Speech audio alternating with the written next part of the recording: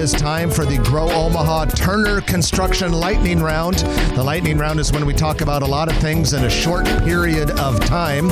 And we thank Turner Construction for bringing this to you. Turner has been in the Omaha market for several years now and has really made a big splash. In fact, one of their projects is the Sarpy County Data Center and has just announced this week that a ninth building is underway at that uh, 4 million square foot data center campus in Sarpy County and uh, they do smaller projects as well. And you can, uh, you know, check them out. Turner Construction. Whether you know you're looking for a contractor or you're in the trades and you want to work for a construction company that takes good care of people, uh, check out Turner Construction. We thank them for sponsoring the lightning round. Trenton, uh, the real estate community lost a legend this week.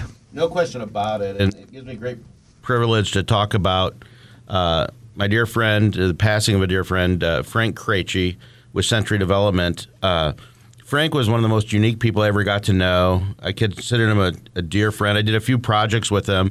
A lot of people in the real estate community did huge projects with him, and, and he really is a legend and he's pioneer. He he leaves behind some wonderful family members, um, including the ones that, that I got to know is, is uh, Bob and, and Gail Krejci. Bob, his son, uh, Gail, his uh, uh, daughter-in-law, Lori Krejci and uh, Larry Smith, and uh, wonderful people, and uh, also honorary family members Marilyn and John Ellingson. Marilyn really uh, runs that office, and Frank, you've heard about him. He's he is the one that preserved the 72nd and West Dodge Road, and it's being turned into an amazing development.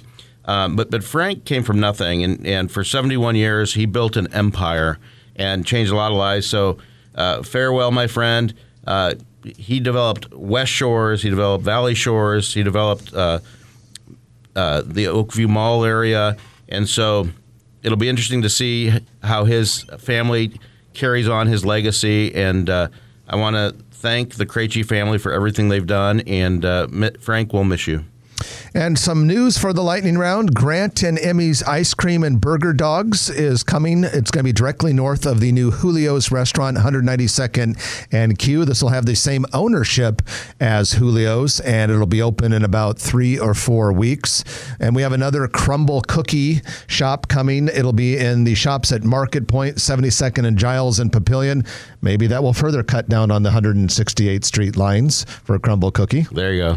I noticed uh, when I went by the 156th Street one uh, last week. No line whatsoever. Was able to get right in for the very first time I ever purchased anything at a Crumbl cookie because I didn't ever want to wait in line. They have like 170 different flavors, uh, but only six per day. Right. Okay. Including chocolate chip every day. Perfecto. All right. Ribbon Except cutting. Sundays they're closed. Are they really? Yeah. Okay. Ribbon cutting August 4th for the Veridian Credit Union new building 7529 Dodge. This is in front of a Lowe's home improvement store right on the big Dodge strip through there. I'm guessing that won't have the line that Crumbl Cookies has. Probably not. I get the ATM first. I mean, it's a fine Veridian Credit Union, but uh, I want a savings account. Unless they give away free Crumbl cookies, then they could have a heck of a line. A restaurant known as now, some people will misinterpret that and think, "Oh my God, Veridian Credit Union's give." No, they're not giving away free cookies. That was just a yeah. joke. Um, a restaurant to be known as Lux American Grill is opening in the apartments at Lux 96. So this is 96th Street, right where Cornhusker Road and Portal Road meet. There's also a breakfast restaurant in there called Cafe Diem, but uh, it's a Bellino development. Good people. Yeah, Lux American Grill. Can't wait to give that a try. Um, another restaurant that looks pretty cool is Talus Spirits and Sustenance. Talus Spirits and Sustenance. It's going to be 10914 Cumberland Drive. That's basically 108th and 370 area. Yeah.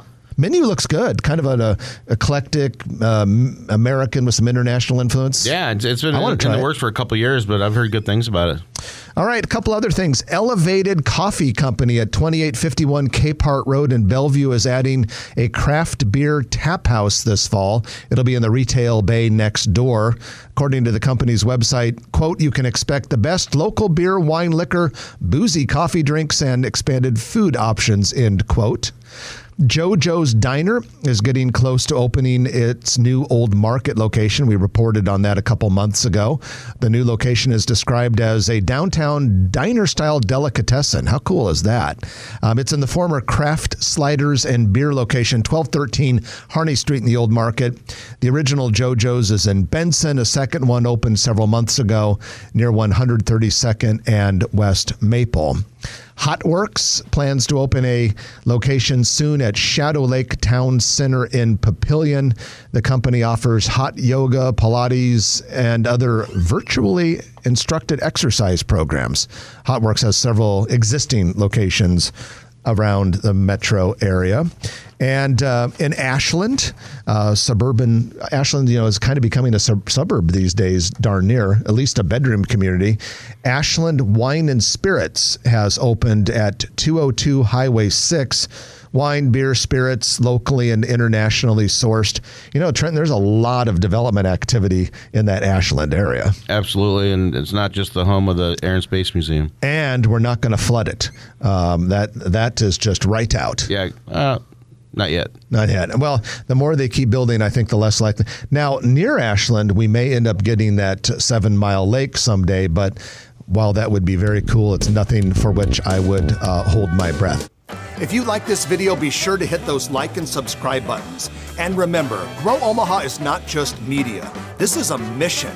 We are trying to build up Omaha and make it an even better place. We can only do that with your help. Share this video with your friends, neighbors, and family.